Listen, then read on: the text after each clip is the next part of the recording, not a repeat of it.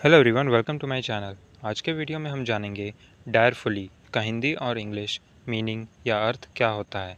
डायरफुली इसका हिंदी अर्थ है शक्ति से, भयानकता से भीषणता पूर्वक शक्ति से, भयानकता से भीषणता पूर्वक वहीं इसका इंग्लिश मीनिंग है inspiring dread terrible inspiring dread terrible एक एग्ज़ाम्पल से समझते हैं इसे example seeing himself trapped he cried out direfully उदाहरण खुद को फंसा हुआ देख भयानकता से रोने लगा। इसी के साथ आज के वीडियो में इतना ही।